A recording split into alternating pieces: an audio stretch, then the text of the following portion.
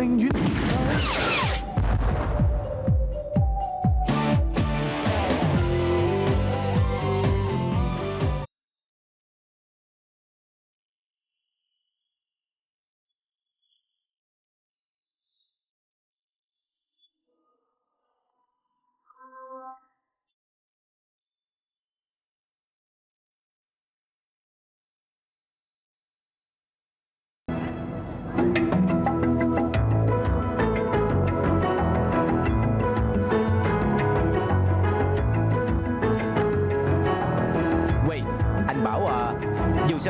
tử tin anh của CD là ấn tượng của tôi đó mà. Sao kỳ cục quá vậy? Chui lên tóc mày nha. Wow.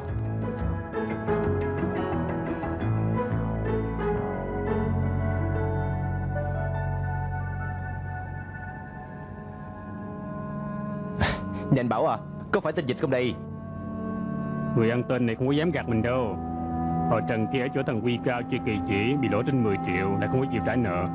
Cái bộ tối nay nhất định là có chuyện mà Thằng Quy Cao nổi tiếng là cài cũ đó nha Họ Trần kia dám chơi mà không dám chịu Cũng đáng đời mà.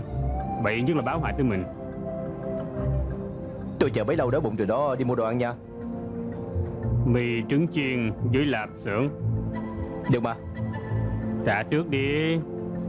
Nhớ thêm ớt đó. Quay đại ca Lần nào cũng vậy hết Anh chức cao hơn tôi mà Làm tiền hoài à Còn nữa. Đừng có bỏ hành chứ gì.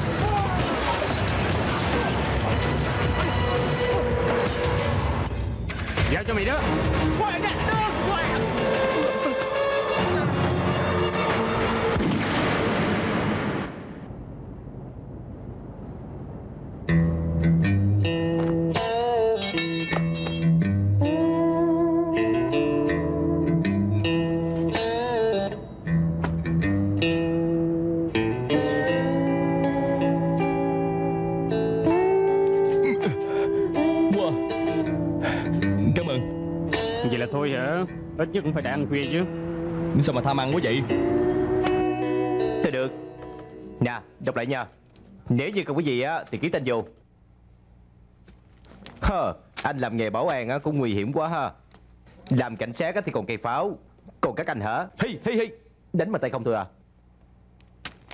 Tôi đi được chưa? Được rồi. Mai mốt kiếm anh đã về nhận người nha. Được cảm ơn nhiều. Ông Trần Đúng là đồ rác mà. Tao trả bao nhiêu tiền Mướn đám bảo an tụi bay để làm gì? Mấy cái dao phai chém tới mình rồi Mà hành động vẫn chậm rì như vậy? Không phải tao phúc tòa số lớn á Thì đã bị chết rồi. Anh nghe đây Kể từ bây giờ không cần bảo vệ tôi nữa. Là cái thứ gì tin anh cả của bộ chính trị hả? Bộ trâu bò thì có Tôi sẽ cứu này. 喂, ông tưởng chỗ này là nhà của ông sao? Tí cảnh sát đó nói chuyện lịch sự một chút có được hay không? Lâu nay tôi nói chuyện Đều lớn tiếng như vậy đó Nói lớn tiếng không phải là phạm pháp đâu. Chỉ là anh em của khoa điều tra tội án thương nghiệp rất thích thú vì giờ ông đi chơi kỳ chỉ vòng ngoài. Tôi không ngày ở lại với ông thêm một đêm nữa. Ngày mai mới tới đón ông thôi. Trung à, để ông ra. Yes sir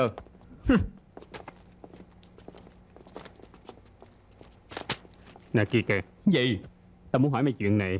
Bị cái xà beng đập mạnh như vậy, có cảm giác gì hay không? Muốn biết thì sao Phải. Để tôi đập cái thì biết liền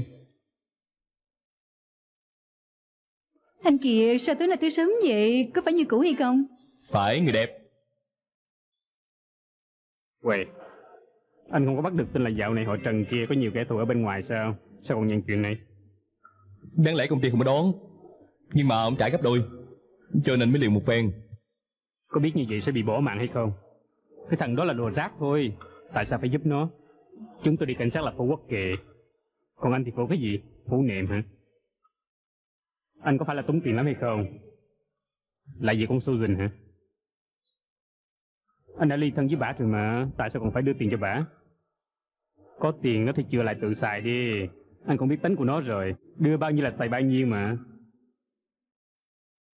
Kìa kìa, không thích nghe thì đổi đề tài đi, bỏ đi làm gì? Đừng có khi dễ anh em này nha ta không phải là bảo an suốt đời đâu Tao đâu có dám khi dễ mày. Còn nữa Đừng nói cho ba tao biết tao bị đánh đó Được rồi lúc nhỏ mày bị phạt ở lại tao cũng nói là mày vượt banh thôi. Cảm ơn. Cảm ơn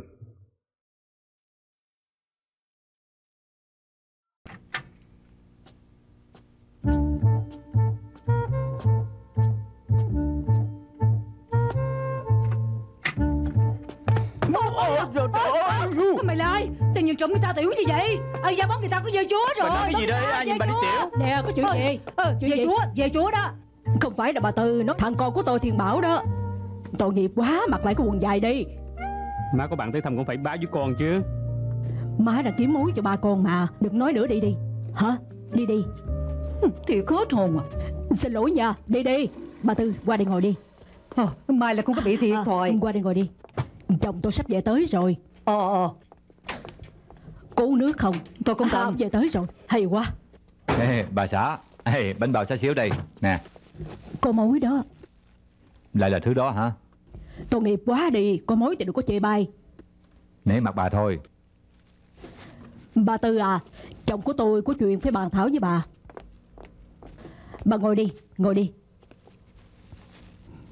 Chồng của tôi năm xưa đi cảnh sát mà Ông quen biết nhiều danh nhân lắm Hôm xưa trưởng ty cảnh vụ quản đốc cũng chơi thân với tôi lắm Chưa hết đâu CID, FBI ở bên Mỹ đó hả Mỗi ngày họ đều điện thoại liên lạc với tôi đó Có phải thiệt không? Tôi cũng có coi tivi đó. Rồi cái gì hồ sơ ờ, X-File, ờ, cái đó tôi cũng biết mà. Vì bà muốn tôi điều tra gì cho bà à, Chồng của bà Tư ở bên ngoài có bà nhỏ Muốn anh điều tra giùm Chồng bà và bà đã già cứu đế rồi Đừng có gây thêm chuyện nữa Bà về tới nhà đối xử tốt với ông chút Biết đâu ông sẽ hồi tâm chuyển ý Không được, tôi nhất định nó phải kiếm con mụ nó ra để mà thị chúng. Phải xé nát mặt của nó. Tôi thâu tiền mắc lắm đó nha Bà hãy chừa tiền lại để dưỡng già đi Đừng có để tôi kiếm nữa Ơi, anh nói vậy lấy gì? Muốn nói tôi già? Bộ không phải sao Bà già thiệt mà Bà chừa hơi lại đi Đừng có dở thêm trò nữa Kìa kìa, đàn ông á thì binh vực cho đàn ông mà. Đàn ông á thì ai nấy được dâm đảng. Nè chị Dân à, chị phải cẩn thận đó nha hồn. Đàn ông á thì thích sao chơi bời. Con mụ già kia Bà nói sang tôi hả Ê, anh làm Bà gì về vậy? sau lưng đi nói gì đây? Chồng của bà bao giờ bé là phải rồi Xin Nếu là tôi chồng bà đó hả Tôi bảo ba con Tôi đó không kiếm anh cho, đừng bắt giờ. Tôi không kiếm anh đâu. Xin lỗi. Kiếm trình thám tư khác. Bà Tư nó xấu anh đó. Đi mau đi không tiện Quá đáng. Nè bà Tư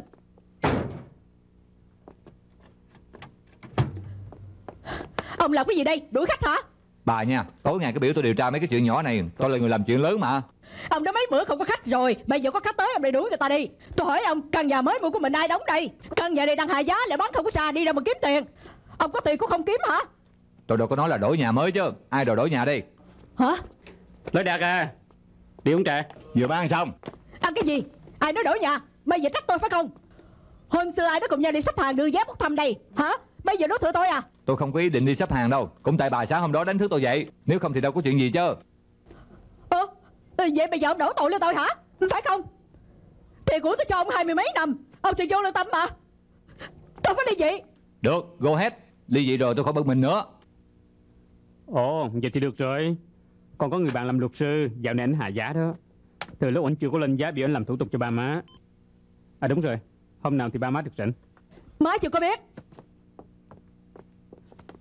Nè, lôi đạt. Chừng nào mới được rảnh đi.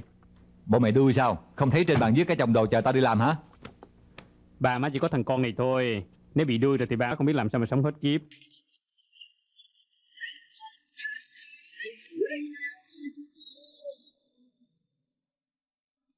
Cái chiêu này là khi có một thằng dây chúa đó sau lưng các chị muốn ông eo các chị mà dùng đó. Nếu như các chị muốn mượn sức hả? Cho dù người đàn ông đó lừa lừa cách mấy Cũng bị té thẳng cẳng Trợ giáo đó là con gái nên mới dễ quật ngã thôi. Ê, nếu về chúa đứng đằng trước á thì sao Như vậy tôi phải nhờ một người ra thử nha. Ra đây Nè Vô đây đi mắc cỡ cái gì chứ?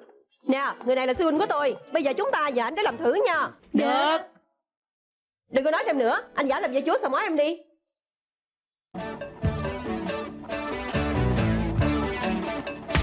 Hay Bye bye nha. à, Bye bye, bye bye, chào cô, bye. bye Chúng tôi về nha, bye. Bye Bye. Bye, bye Bye. Bye Bye. Tôi cười lắm sao? ờ, Thật không ngờ anh giả làm dây chúa cũng giống lắm chứ.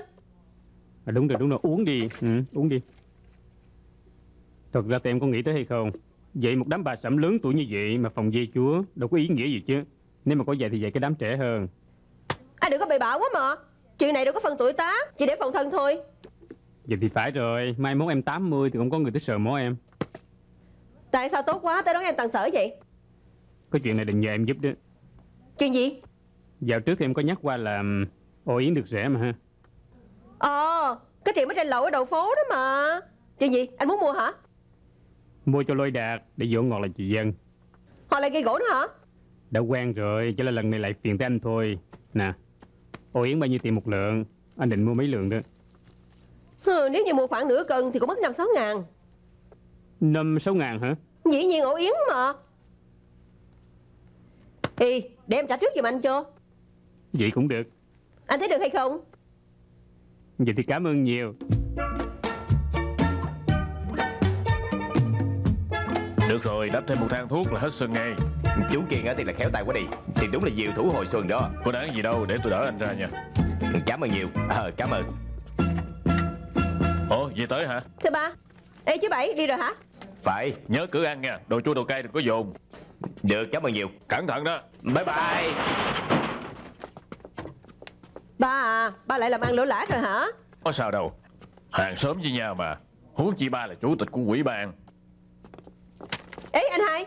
Sao trễ vậy? Trung tâm xã khu ta học sớm lắm mà. Cặp kè hả? Được gặp cũng đỡ. Một cho em hả? Ê, anh không phải chơi với em đâu. Lôi lại bị ế chồng đó Anh cứ yên tâm đi. Em gái của anh trước 30 tuổi nhất định sẽ lấy chồng. Gì hả? Phương à, lấy cái thao vô rửa cho ba. À dạ được. Chỗ này đau nhức quá đi. Chỗ nào? Đi con nâng bóp cho ba. Còn có được hay không đó? Đương nhiên là được. Nè, ngồi nghỉ chút đi. Ờ, ai à? Cái gì đây? Cái con nhỏ này lại mua cái gì tào lao đây? Wow, ổ yến đó ba à Ồ, lại là đồ thượng hạng nữa. Hồi sáng nói với nó là tiêu hóa không có được tốt Thì tối nay nó đã mua về rồi. Để bà cứ nói là con Phương Cứ mua phấn son giáo quần. Thật ra nó cũng có hiếu với ba lắm. Phương à Con mua một ít thuốc nhuận trường là được rồi. Cần chỉ mua ba cái đồ quý giá như vậy chứ. Ba đâu phải là đàn bà đâu Đâu có cần ăn ổ yến. Con mua bao nhiêu tiền vậy? Ba trả lại cho con. Ba Ba trả cho con đó. Không phải mua cho bà? Mua dùng người ta đó mà. Mua giùm người ta? Mua giùm ai vậy? Làm ơn mở cửa đi. Ồ, anh Kiên Kiếm tôi đánh cờ hả? Cô không sợ bị thua sao? Đánh cờ cái gì? Tôi tới thâu tiền đó. Thâu tiền? Thâu tiền gì? Tiền ổ yến nè. Ba bỏ đi. Ba về bển đi. Im. Wow, anh đem một hộp đồ tới nói là thu tiền. Tôi mà đưa tiền cho anh mới là ngu đó. Cái thằng con của anh đó bảo con gái tôi mua ổ yến Lại không có đưa tiền trước. Mua xong rồi là bộ quên mất hả Hộp ổ yến nè chắc là anh mua về dỗ ngọt con vợ. Thì anh trả tiền cũng nên đó mà. Wow, anh biểu đưa tiền thì tôi đưa. Vậy là mất mặt rồi. Quay, là con gái của anh tự nguyện mua mà. Đâu có ai cầm dao uy hiếp nó. Anh còn ăn nói như vậy đó hả? Ờ, Không phải là lần đầu tiên đâu. Lần nào mua đồ về cũng không thâu lại được tiền. Không lẽ anh biểu họ phó này nuôi luôn họ lôi anh à? Quay, anh đừng nói chuyện khó nghe quá nha. Khó nghe gì? Tiền của con gái anh mà, đâu phải của anh mắc mới gì anh. Tiền của nó cũng như là tiền của tôi. Tôi vẫn chưa thanh toán với anh đó. Hôm đó nếu như mà cần cổ của tôi không bị anh chặt một cái á Đâu có bị trẹo chứ Tài nghệ kém cỏi thì còn trách ai? Xem chút là tôi bị tàn tật chung thân đó. Anh tự chuốc lấy thôi. Không chịu tới cho tôi chữa Còn đi kiếm bác sĩ Tây Thiệt là đáng đời của anh đó. Chứ Chuyện gì la lối ôm sầm không đóng cửa vậy? Bà về bệnh đi. Anh bảo về sẽ trả tiền lại cho con Nhớ thu tiền nha. Tôi nể mặt chị dân đó thôi. Chị Dân à xin lỗi nha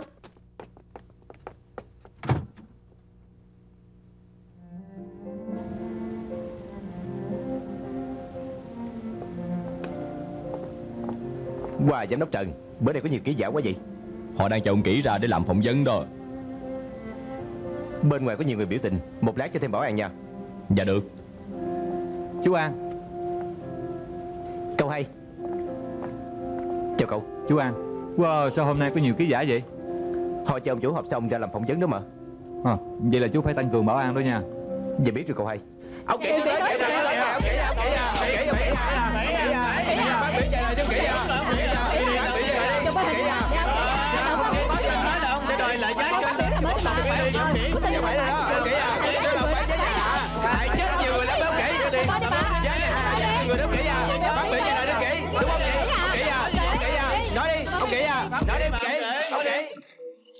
Tôi thấy những người mà ăn nói như vậy đó Thiệt không có trách nhiệm chút nào. Lúc mà giá nhà tăng giọt Họ kiếm được rất nhiều tiền. Sao không thấy họ chia bớt cho tôi đi? Bây giờ giá nhà xuống rồi. Họ lại nói là phải bỏ cọc Lại đòi bớt giá. Làm như vậy thật không có chút tinh thần hợp đồng nào cả. Người Hồng Kông mua nhà Là một loại đầu tư Đầu tư thì có lời có lỗ. Bây giờ bị lỗ rồi Thì tới đòi tiền tôi lại. Như vậy có công bằng với tôi hay không? Nếu như kẻ bỏ cọc Là những tay mua bán Tôi tuyệt đối không đồng ý đâu. Tôi làm ăn nắm vững tôn chỉ Không thẹn với lòng mình. Cảm ơn các vị.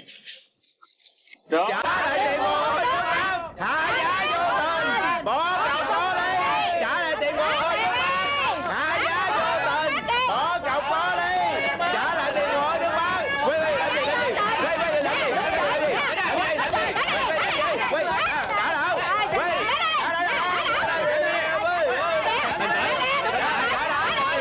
Mình đánh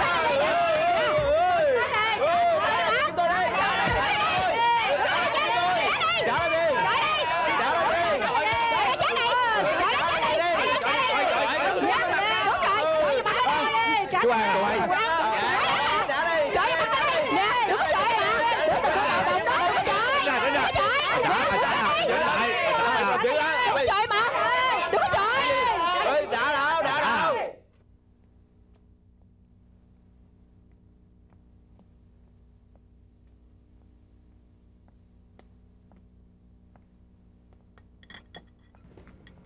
đâu Chào ông chào chủ. Chào ba Ông chủ. Ông chủ. Đi đâu rồi? Cô hai nói là phải đi vũ hội. Đang sửa soạn nên không có ăn cơm. Đã biết ngày thứ tư là ngày Cả nhà cùng ăn cơm mà. Tại sao nó lại? Ai, Hết cách thôi ông chủ à. Cô hai lo cho buổi hội từ thiện nữa mà. Nên bận rộn xã giao à, Làm việc từ thiện hả? Ờ cũng khó nói. Ờ còn cái vụ à, Ở trước cửa khách sạn hồi sáng ra sao rồi? À, Con đã lên ty cảnh sát cho khẩu cung rồi. Còn những việc khác thì cảnh sát sẽ làm Ây à Sao con lại đi à, chấp nhất với mấy cái thứ dân đó chứ hả? Rồi để những tạp chí tào lao kia lại có cớ Giết bậy giết bạ nữa. Ba, tại vì con thấy dù sao câu chuyện này cũng là lỗi của họ Cho nên con Người lớn làm việc lớn phải có độ lượng. Lý lẽ đơn giản như vậy à Mà con vẫn không hiểu hay sao? Nè ông chủ à Cậu hai đã mua chai rượu đỏ về cho ông thử đi nè. Hay làm thử coi có thuần không đi Nè Ông thử xong rồi tôi mới thử nha. Ờ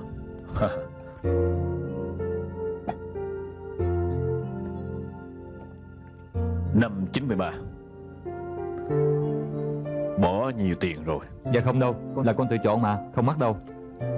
Con không có qua mắt được ba đâu.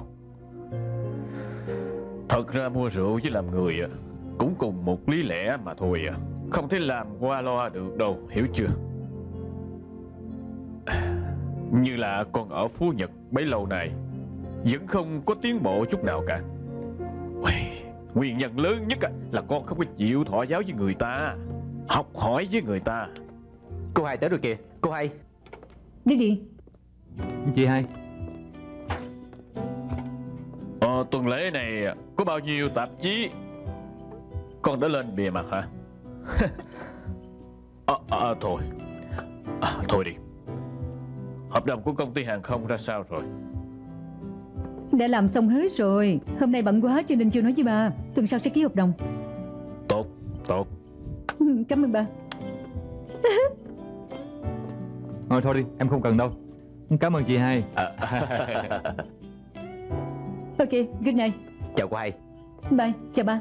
À chào. À Con thiệt nên bắt chước chị hai. Một con người ở văn phòng suốt 24 tiếng đồng hồ Cũng không có nghĩa là làm ra việc đâu. Ừ Mấy con trâu ở thôn quê cũng rất là siêng năng đâu mà. Sao không thấy họ làm giàu? Phải không? Dạ con hiểu. Hiểu rồi hả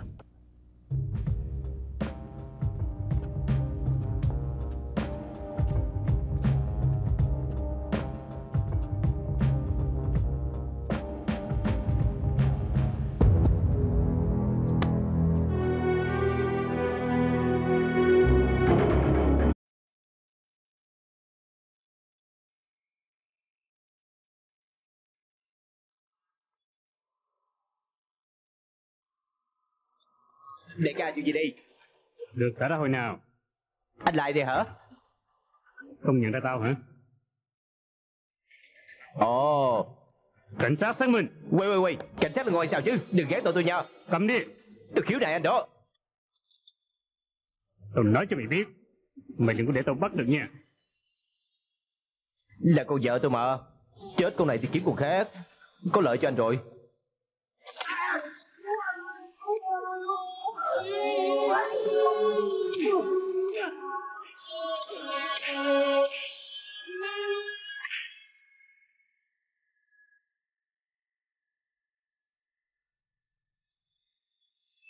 Tiền Phát, bị cáo Trần Cường Phát, ngộ sát Trần Gia Huệ, tội danh thành lập.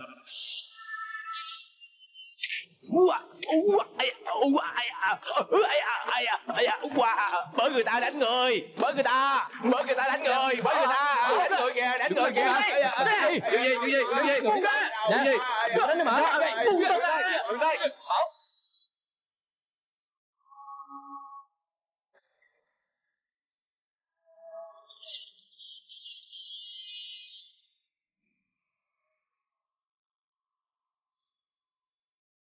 này đã nói chuyện với tôi.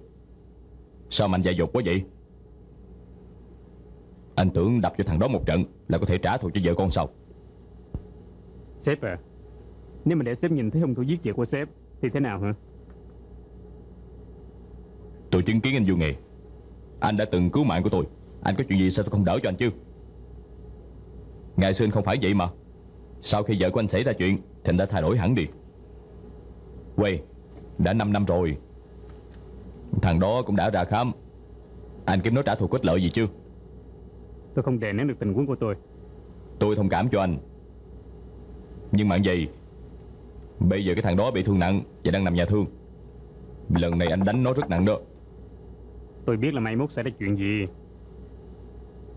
Nhưng mà dù sao Tôi cũng sẽ cố gắng che chở cho anh. Nè Người bên khoa cứu này kiếm anh. Anh đừng có nổi lửa đó nha hử? Xin lỗi sếp Lại làm phiền tới sếp.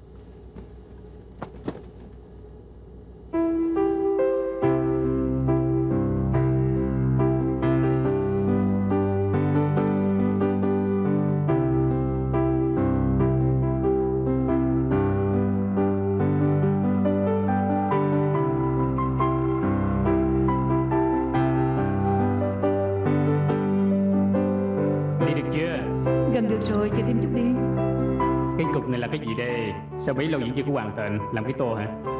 Nhiều chuyện không có cho anh biết. Ông xã sinh nhật vui vẻ.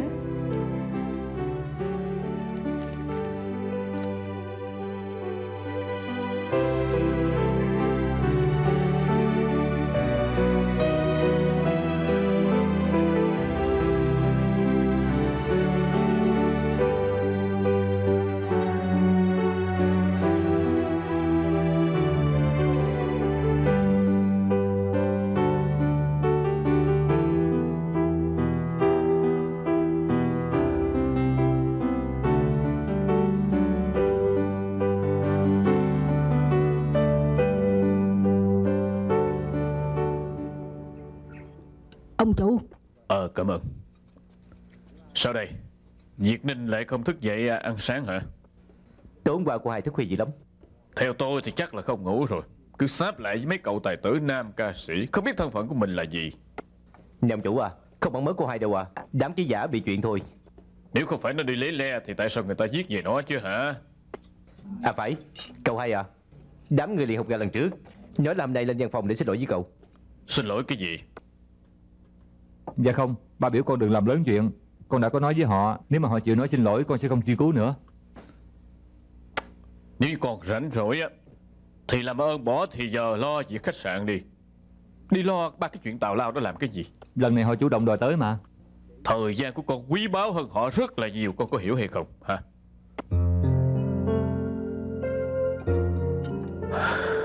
Đứa nào đứa nấy thì không biết muốn dở trò gì Nè cậu hai à Mấy lại sáng nay tôi lành lợi đó. Biểu cậu phải mặc thêm cáo lông cù vô thôi. Trời đã chuyển lạnh rồi. Tôi thì không biết tại sao. Cái gì không biết tại sao chứ? Chú An, chú nói đi. Bộ tôi ở trong thâm tâm của ba tôi bị thất bại lắm hả? Đương nhiên không phải. Làm gì có? Tôi làm việc gì ông cũng thấy chướng mắt mà. Ông chủ làm như vậy Là chỉ vì nóng lòng Muốn cậu thành tài thôi. Thì phải mà. Việc gì ông cũng trầy tôi ông mới chịu yên. Biểu tôi từ nay làm việc làm sao mà yên tâm Đừng bao giờ nghĩ như vậy. Nè uống thuốc đi. Nếu không một lát trở cầu suyễn đó. Wow, wow chuyện gì đây? Chú An. Ừ, Chú An. Đừng có sợ mà?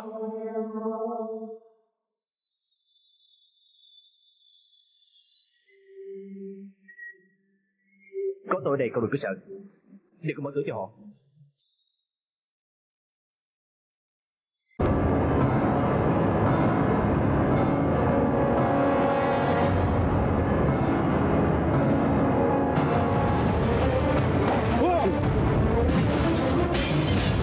Ơi, ua, ua. Ra đây, ra đây vậy? Ra đây, quay, quay. ra đây, làm gì vậy? Nè, buông ra, buông ra. Ra đây, làm gì? Làm gì chứ? Làm gì gọi chúng tôi? Nè, qua, qua, nè, các người làm gì? Làm gì? Không bị Làm gì?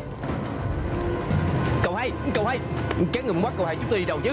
Đó không sao Bây giờ tôi thả anh về Về nói với kỹ trung nam Lý Vinh Quyền này sẽ liên lạc với ông ta Biểu đừng có báo cảnh sát nha Nếu không thì chuẩn bị lượm xác đi Cậu hai à, cẩn thận nha.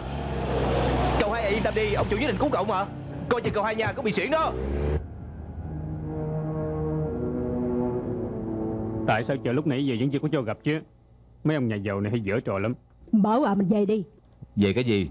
Năn nỉ quá trời người ta mới chịu bỏ kiện bà đó.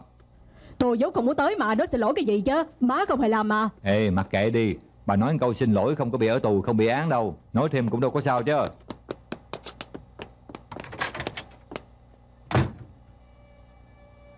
Người đó là người hầu của kỷ hiển tổ mà. Nè vậy là về tới rồi đó Ông Kỷ à Ba người này đã hẹn với tổng giám đốc để nói xin lỗi. Đã chờ lâu lắm rồi. Nói với họ tôi không truy cứu Không kiện Bảo họ đi đi. Các chị có thể đi Ông Kỷ nói là sẽ không truy cứu nữa. Cảm ơn. Ê mọi việc suôn sẻ rồi. Ừ, Vậy là có thể đi hả?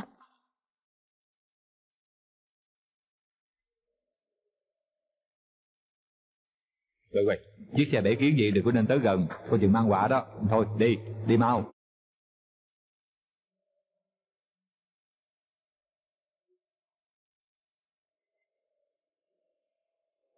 Cảm ơn nhiều nha. Chiếc xe đã điều tra được rồi. Là của kỷ hiển tổ thằng con của kỷ Trung Nam. Anh muốn chứng minh điều gì? Tôi nghi ngờ là kỷ hiển tổ đã xảy ra chuyện. Chiếc xe rõ ràng đã bị người ta phá hoại.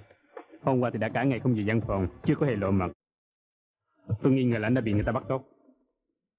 Chỉ là anh suy đoán thôi. Ông có thể nói như vậy, tôi không có chứng cứ thực chất mà. Nhưng mà kỹ Trung Nam không có báo cảnh sát Mình đâu có làm được gì Nhưng cũng có nhiều người giàu có Dù có chuyện không thích báo cảnh sát đâu à. Chúng ta có thể làm gì? Anh có thể nói là không. Nhưng mà cảnh sát có thể dùng những đường lối khác nhau để điều tra. Nhưng mà tôi không mong bị anh đoán trúng. Bởi thích kiếm việc làm sao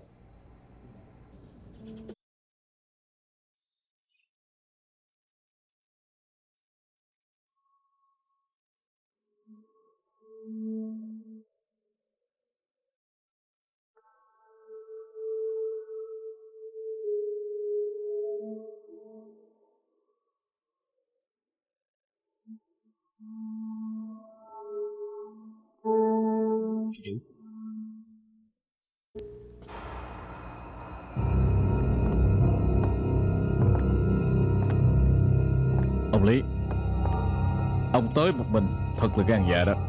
Tôi đã bắt con của ông coi như là chơi dưới lửa thôi. Tôi tới đây kiếm ông, Thì đã nhắm trúng chung với ông rồi. Quý Đừng có làm mẫu. Ông Lý, Bây giờ con của tôi ở trong tay ông. Ông có yêu cầu gì cứ nói đi.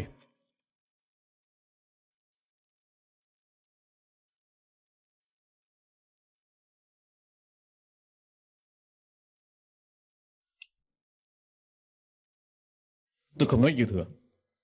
Tôi cần lấy một tỷ. Tôi nghĩ, Đối với ông kỹ Không phải là một vấn đề gì lớn đâu. Một tỷ? Ông Thiệt yêu cầu quá đáng rồi đó.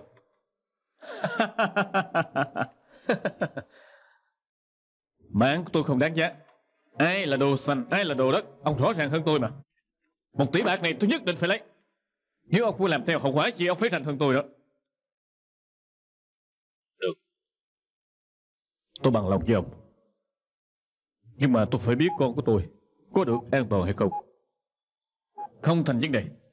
Tôi đối với nó tốt lắm. Nó được ăn ngon, mặc ấm, được ngủ giường êm, được coi tivi. Ê Bảo thằng nhỏ nói chuyện với ông già nó đi.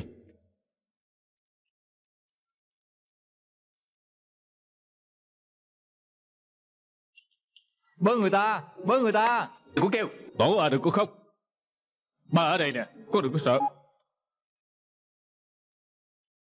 Tôi cho anh 48 tiếng. Phải chuẩn bị đủ một tỷ bạc. Tiền mặt nha. Không thành vấn đề.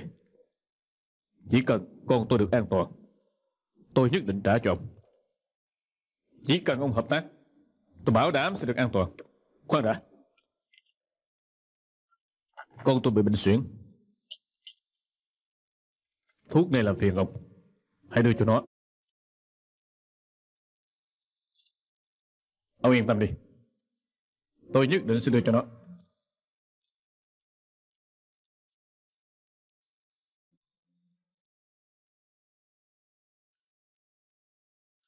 Được. Tôi biết mà. Cảm ơn nhiều. Cảm ơn.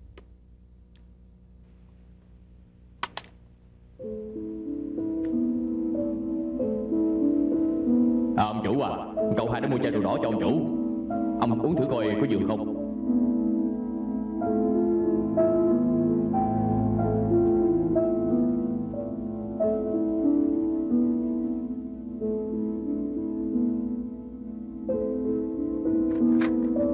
Ông chủ à Tôi thiệt lo cho cậu hai quá đi. Trời đã chuyển lạnh rồi Sức khỏe của hai lại không được tốt. Còn bị trở bệnh suyễn đó. Một cúp này không biết cho cậu ăn cái gì đây. Lại không biết là có cho uống thuốc không hả? Đủ rồi đủ rồi Bớt nói một chút đi có được hay không? Không thấy tôi đang bị phiền à.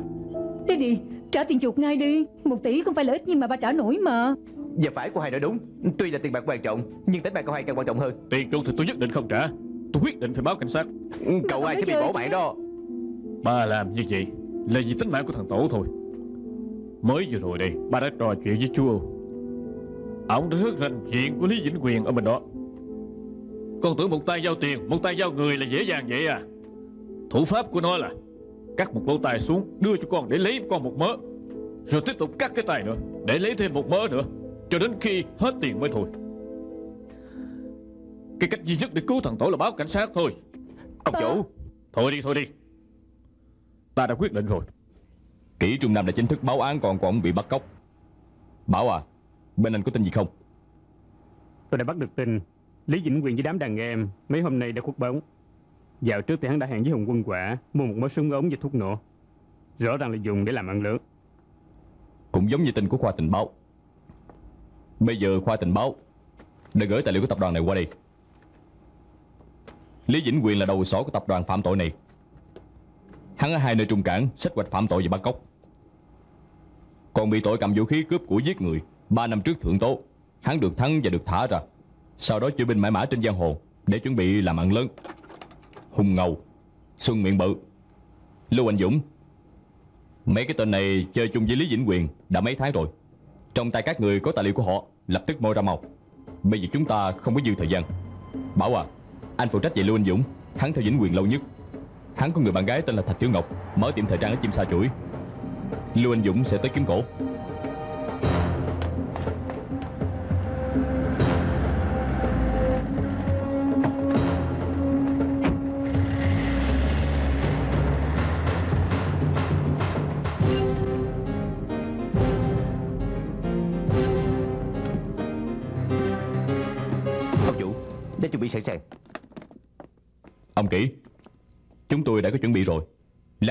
Chỉ thị của Vĩnh Quyền Đi giao tiền cho nó. Chúng tôi sẽ theo dõi nó Và cứu con công về. À, được, được.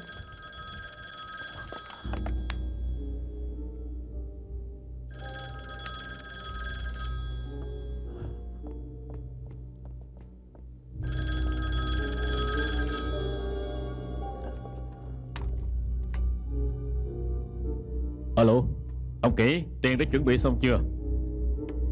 Đã chuẩn bị xong rồi, ông có thể tới lấy. Hôm nay tôi không muốn tới. Ông một mình lấy xe đem tới cho tôi đi.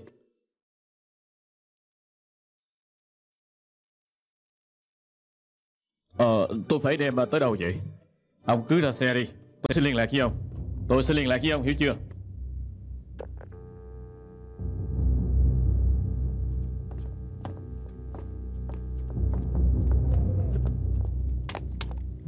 Ông kỹ. Ông đi một mình như vậy rất nguy hiểm. Ông chủ.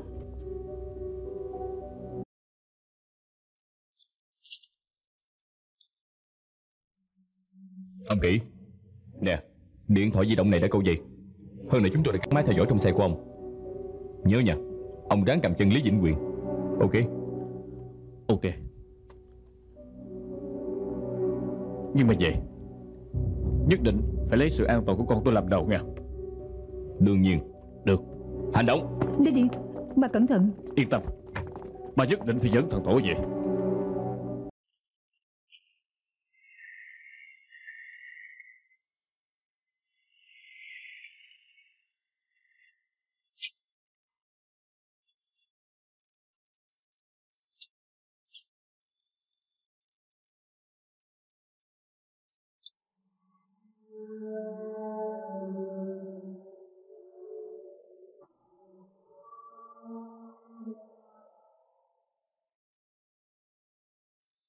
Anh đã đi đâu chứ? Đã mấy buổi khuất bóng. Đang làm việc mà. Anh quyền đủ cho anh gặp em chứ. Đừng có như vậy. Người ta nhớ em mới gọi em tới gặp mặt thôi mà. Lặn lội đường xa Không biết anh giở cái trò gì. Em đưa tiền nhà cho em. Coi như anh còn lương tâm. Nè Em là vợ của anh. Cho Hùng miếng đã. Đừng vậy mà. Ở ngoài phố đó Về nhà đã Vậy thì em đi đi. Anh ra đón xe giùm em. Thôi đừng. Anh làm việc đi. Để em tự đón xe được rồi. Được. Từ từ nha. Ờ.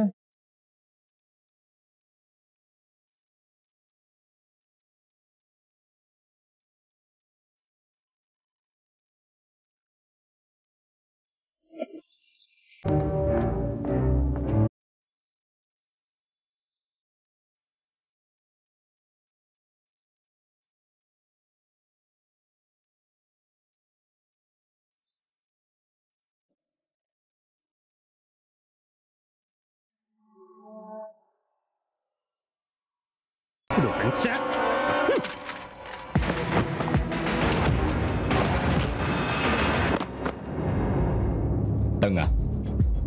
sát quá Yes, sir.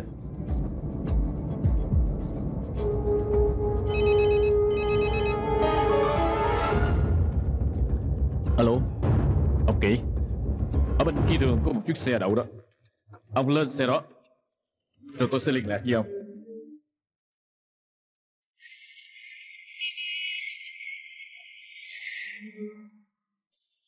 Tất cả anh em để ý, Xe của Kỷ Trung Nam không biết chuyện gì đã dừng lại. Chúng tôi lấy thay không kịp. Các đơn vị khác, đề các cảnh giác. Đừng bộc lộ thân phận nha.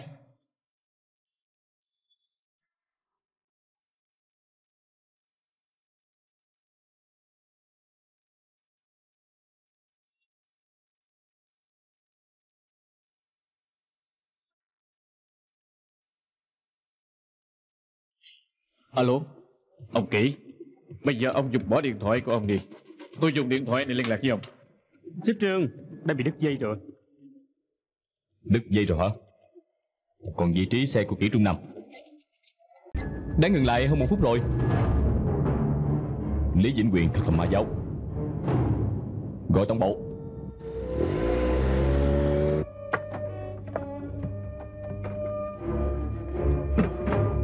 Bớ người ta. Quay kiểu gì? Đập mày bây giờ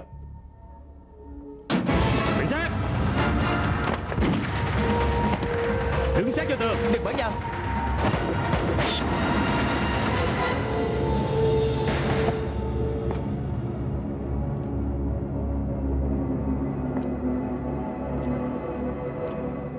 Thật là vất vả cho ông quá hả? Tiền của tôi đem tới nè. Thằng con của tôi đâu? Tôi nhận được tiền sẽ thả người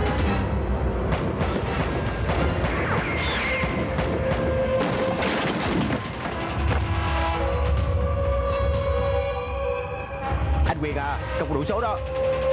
Kỹ Trung Nam Như vậy là ý gì đây? Tôi muốn thấy mặt thằng con 500 triệu còn lại tôi sẽ trả cho anh. Ông nghĩ bây giờ ông còn điều kiện để mặc cả hay sao? Chỉ cần tôi bấm một cái nút này thôi Là con của ông đi đời ngay. Xin đừng Đừng đánh tôi Xin đừng. Là cảnh sát đừng có sợ.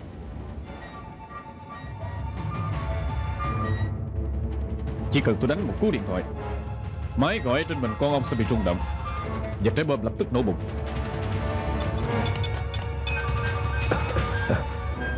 Anh Quyền à Sẽ được chuyện rồi.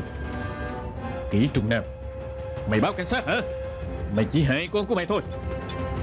À, Xin đừng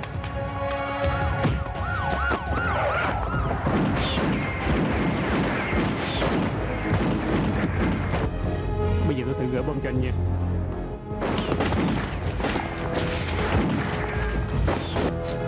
À, à, Đau quá. Đứng yên đi mày muốn chết tao không muốn chết đâu